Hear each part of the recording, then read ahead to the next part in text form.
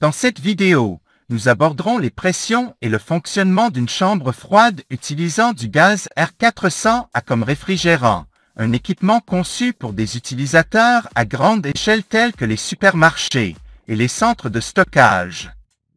Dans ce type de chambre froide, la charge thermique congelée est cruciale pour sa conception, y compris la vitesse à laquelle la charge doit être congelée. La puissance frigorifique de ces installations est élevée, travaillant généralement à une température d'évaporation de moins 20 degrés Celsius, soit environ moins 4 degrés Fahrenheit. Pour cette température, nous avons une pression absolue de 45 276 livres par pouce carré. Pour connaître la pression basse ou de l'évaporateur qui serait indiquée sur le manomètre, nous soustrayons la pression atmosphérique de la valeur dans le tableau. Ainsi, 45 276 livres par pouce carré, moins 14,7 livres par pouce carré, donne une valeur de pression de 30 376. Pour connaître la pression élevée, il suffit d'utiliser la température ambiante augmentée de 15 degrés Celsius et de chercher la valeur de pression dans le tableau. Par exemple, pour une température ambiante de 35 degrés Celsius, nous augmentons de 15 degrés pour obtenir une valeur à 50 degrés Celsius, soit 337 365 livres par pouce carré. De pression absolue, pour connaître la pression élevée ou du condenseur qui serait indiquée sur le manomètre, nous soustrayons la pression atmosphérique de la valeur dans le tableau. Ainsi, 337 365 livres par pouce carré.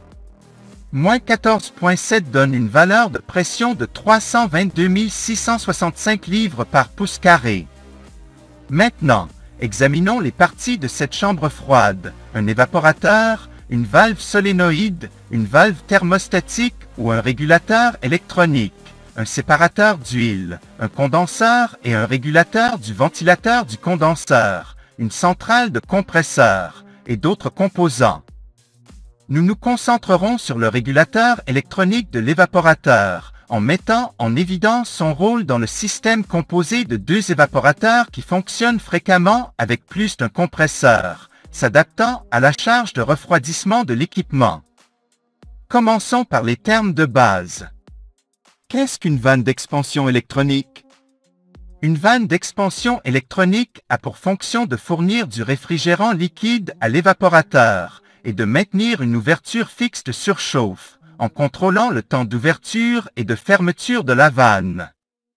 Ces vannes sont actionnées par régulation par modulation de largeur d'impulsion, ce qui signifie que le temps d'ouverture est contrôlé selon les besoins.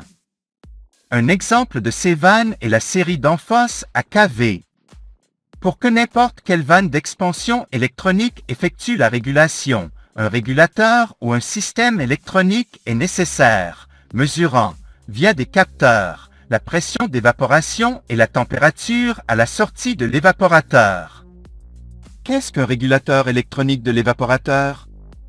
La fonction principale du régulateur électronique de l'évaporateur est de réguler l'injection de réfrigérant liquide dans l'évaporateur. Le réfrigérant fourni est contrôlé par un signal de capteur de température ou par un émetteur de pression. En travaillant avec une vanne d'expansion de type AKV ou d'ouverture et de fermeture totale, le régulateur de l'évaporateur décide, selon la lecture des capteurs, du temps que le réfrigérant doit passer dans l'évaporateur. Le régulateur ouvre et ferme la vanne à KV selon les lectures des capteurs, ajustant l'ouverture de la vanne de manière indépendante pour que l'évaporateur fournisse la quantité optimale de réfrigérant à tout moment. En utilisant un capteur de pression et un capteur de température, une mesure précise du réfrigérant ayant atteint la surchauffe est obtenue dans toutes les conditions garantissant un contrôle très précis et robuste. En fonction du modèle du régulateur de l'évaporateur, il est possible de contrôler un, deux ou plusieurs évaporateurs avec l'utilisation du régulateur électronique de l'évaporateur. Il est possible d'augmenter la pression d'aspiration, réduisant la consommation électrique. Le contrôle électronique de l'évaporateur garantit le surchauffement le plus bas possible, rapprochant les performances d'un système à évaporateur inondé.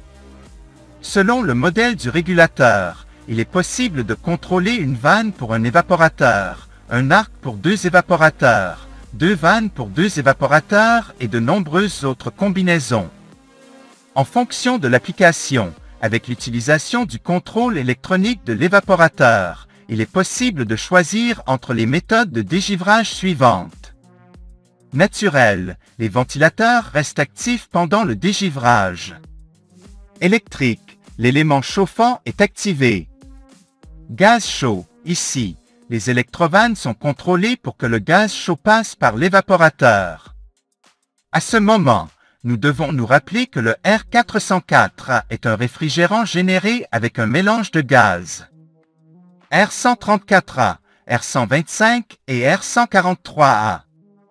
Bien que le R404 ne détruise pas la couche d'ozone, son potentiel de réchauffement global PRG de 3920 cause actuellement des problèmes avec les réglementations environnementales qui limitent les gaz ayant un PRG supérieur à 2500. Certaines alternatives au R404A, telles que le R407A, R452A, R449A et R407F, sont présentées comme des options pour atténuer les problèmes associés au PRG élevé du R404A.